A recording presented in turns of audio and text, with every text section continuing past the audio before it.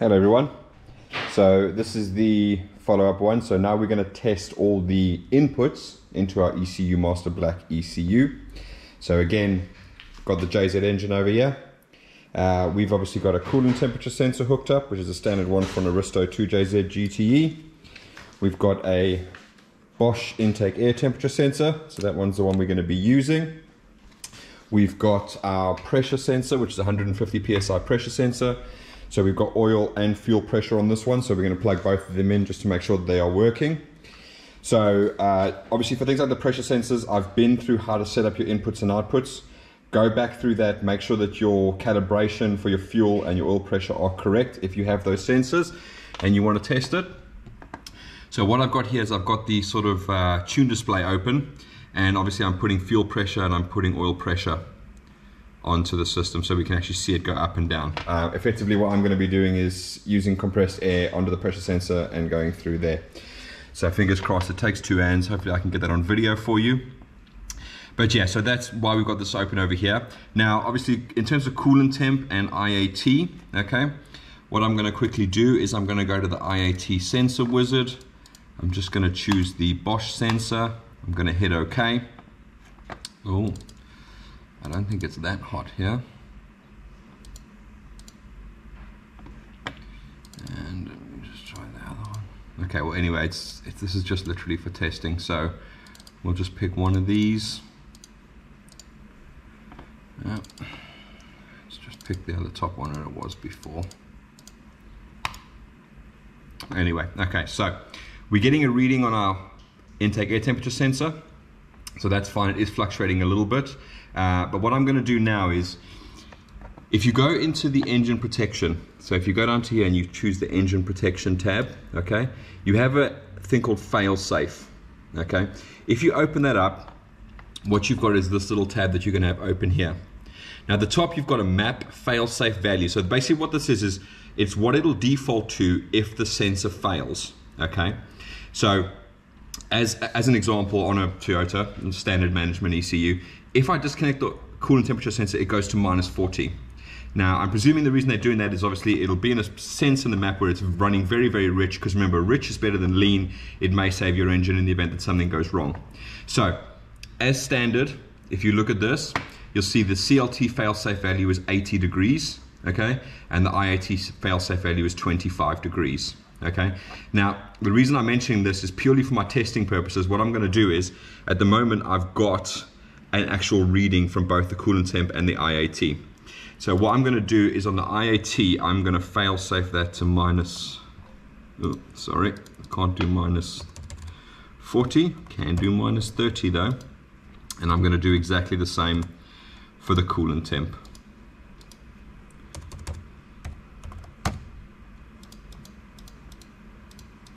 Okay, and so that's gonna be fine. So basically what I'm gonna do now is you're gonna see the values on here for the coolant temp and the IAT. So effectively all I'm gonna do now is I'm gonna unplug this and as I do,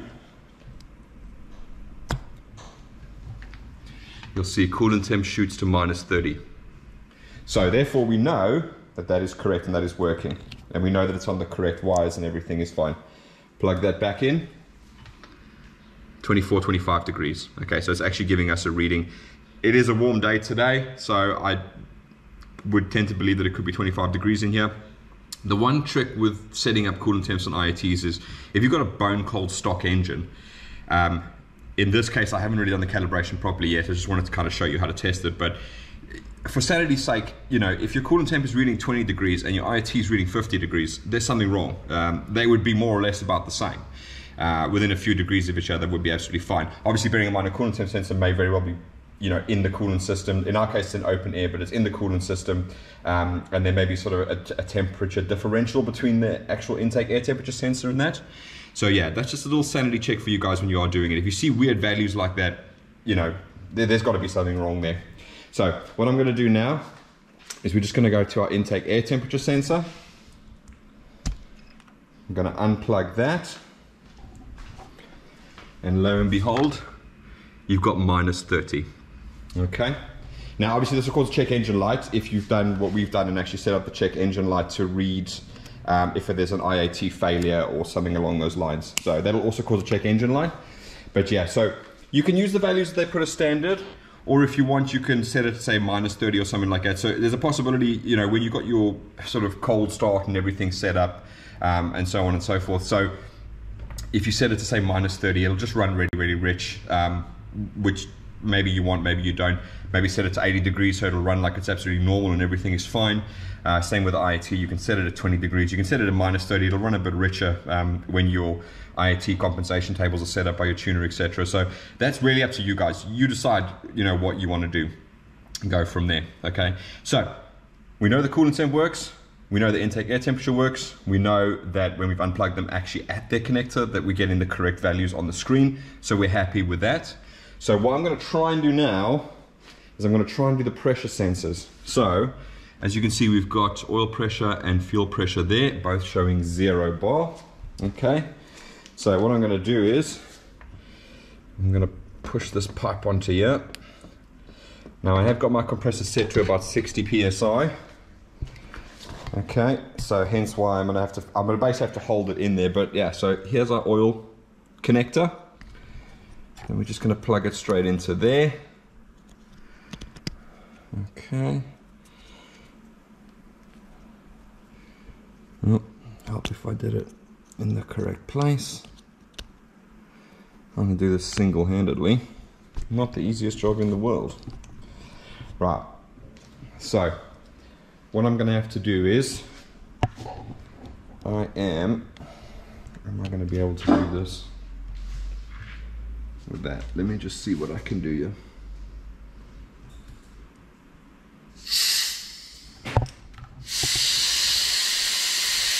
Okay. Hang on. Okay.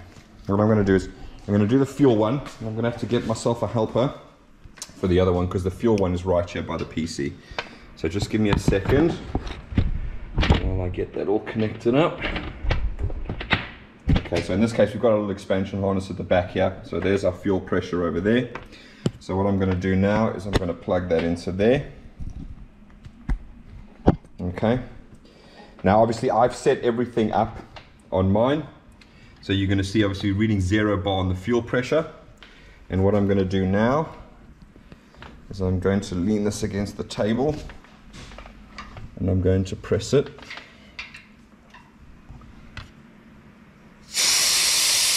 it shoots all the way up. Okay. And obviously we're happy because it's actually showing under the fuel pressure that it's working. Okay. So, again, we're happy with that. Um, I just do it as a sanity check. It's just to make sure, especially if you've got like oil and fuel pressure. I'm not going to bother with oil pressure. I, I, know it works. I've tested it. It's just to, so you guys can actually physically see. So I like to do this just as a sanity check, just to make sure it works. Because the thing is, you know, if you've got no oil pressure and you're sort of cranking and cranking and cranking and cranking, cranking, and everything is sort of, you know, showing zero bar, and you think, oh, I've got no oil pressure, it may just be the sensor that's at fault.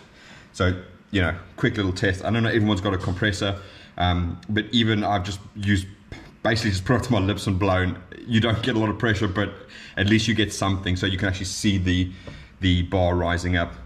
The other thing I wanted to let you know is um, it depends on what you prefer. Um, I prefer to use bar, but that's because I grew up in a country where that's what we used to use, kilowatts and bar. Um, but what you can do is if you go into tools one, two, three, four, fifth one down is called configuration. And inside here, right at the top, you can change the units. So you can go to Imperial if you want, click on OK, and we've got PSI. Now, if you do that, as you can clearly see, it changes everything around. So now your map sensor is reading in PSI rather than um, KPA. So if I go back to Tools, Configuration, metric, and we're back at KPA. So again, this is this is all a preference thing. Maybe you prefer to read it in PSI, um, you know, in terms of your map sensor and so on. So it's just let you know that the option is there. You know, if you guys want to use imperial measurements, absolutely no problem at all. And I'll actually just check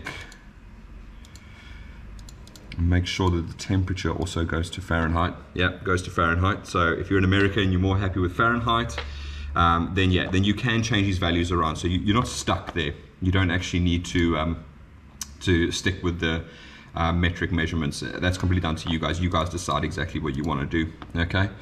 Um, so that's that.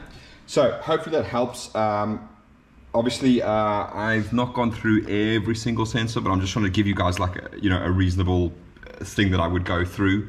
Uh, obviously, for the drive-by-wire, like the TPS and all that type of jazz, uh, I've done that in the drive-by-wire video, so I'm not going to go through and test that as well.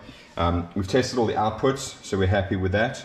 So effectively, if you're at this stage now, so you, you, you've installed the software, you've updated the firmware, you set up all your inputs and outputs, or if you got it from us, you've just double checked everything against the, the, the information that we give you. Um, you've tested your outputs, you've tested your inputs, you're happy that everything is set up on the ECU correctly. The next step now is going to be actually checking the uh, base timing. So that'll be the next video that's coming up now is how to check the base timing. Um, obviously this is ECUMaster specific, but I'm gonna go through some generic stuff that applies to everything. So yeah, stick around for that. And like I said, if there's anything else about testing sensors, sensors that you want to know, if there's anything else about ECUMaster products you want to know, if there's anything specifically, you know, that you want to know about ECUMaster, how do I do this, how do I do that, please feel free, drop a comment down, uh, message on our page. If we don't know, we'll get the answer for you and we'll do a video and we'll explain exactly how it works. All right, but thanks for watching guys and we'll see you later. Bye-bye.